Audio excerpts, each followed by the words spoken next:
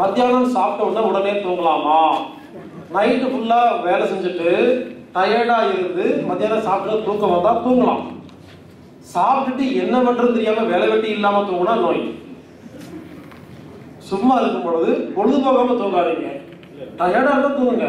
வேலை செய்கிறவங்களே சாப்பிட்டாலும் கொஞ்சம் தூங்கலாம். இல்லைங்க நான் சொல்றது அந்த டயர்னஸ் இருந்து தூக்கம் வந்தா தூங்கலாம்.